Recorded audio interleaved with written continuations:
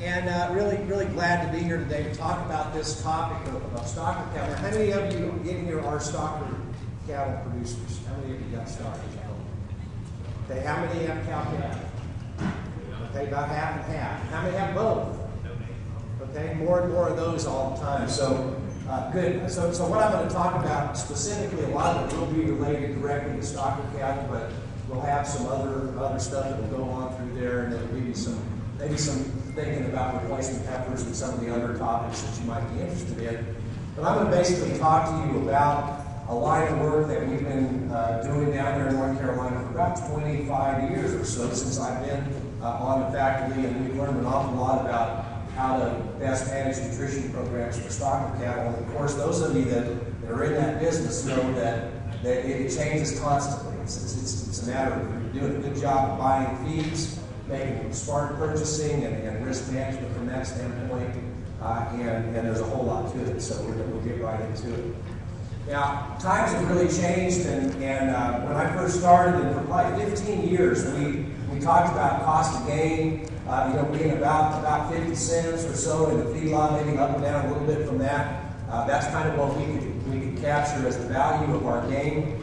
Uh, but then, but about I guess about six or seven years ago, things just completely changed. We all know that the, uh, when feedlot gains went up above a dollar and even higher than that, then uh, we started to see situations where we could get paid for those gains uh, on, on our stock cattle. So there's a lot more lot more opportunity for margin in this, but sort of the run up in feed prices uh, further challenged us to even make that thing work. So, uh, nevertheless, today we need to be looking at, at, at a uh, you know cost of gain uh, somewhere around or a, a, a, uh, cost of gain of about in the 65 to 85 cents per pound range on these stock cattle. We can do that. We can we can turn some pretty good margins on the cattle and and uh, we, because we do get some benefits from packaging cattle that uh, are sold a lot of times one or two at a time and then uh, into these uh, tractor trailer loads. So a lot of a lot of opportunities there to add value to these cattle, and and lots of people willing to pay for cattle that have been been straightened out and, and, do a good job.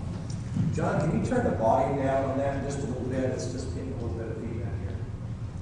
So if we think about stocker programs, uh, we have a wide variety of systems, and so it's very it's, it's hard to generalize and just talk about stocker cattle because uh, we have lots of different systems. Uh, obviously, the, uh, when I first came to work, one of the most popular ones, or what we saw most of our, our, our work with, with stockers down in, in uh, Southern Virginia and, and, North Carolina, were summer grazing systems, and basically calves turned up on the mountain, and, and uh, as the as the fences rotted down and and things got a little bit risky with these cattle. We can see a little bit less of that. Also, we have lots of people that decided they wanted to come from Florida and build big houses on our ridge tops, and uh, they didn't necessarily want cattle uh, up there roaming around their, their area. So we've seen a lot of that decline.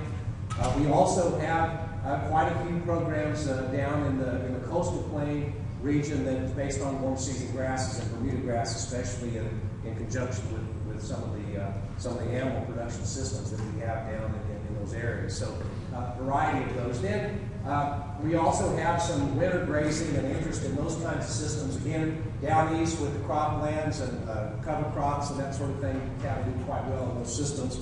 And then uh, in this area, and the area I'm from, you know, stockpiled fescue, having that winter forage out there so calves we graze it, and, and then oftentimes we'll keep those calves on that in the winter and then follow uh, into a grazing system the following summer and, uh, and do quite well with those. Now, the one that has the most growth and the most interest in, in our area and most of the larger stocker operations I work with have gone to a, uh, a basically a byproduct-based feeding system where cattle are carried most of their feed. They, they oftentimes are out on pasture uh, with or without hay, depending on how much grass is out there. But the design really is to carry most of the feed to the cattle and, uh, and have them distributed out there on the land where they're not going to have a, a, big problem with waste management and have to have a, a, waste management plan and those sorts of things. So lots of those kinds of systems have sprung up, and, uh, and that's where most of our interest in and, uh, and, and interest in this nutrition topic has been.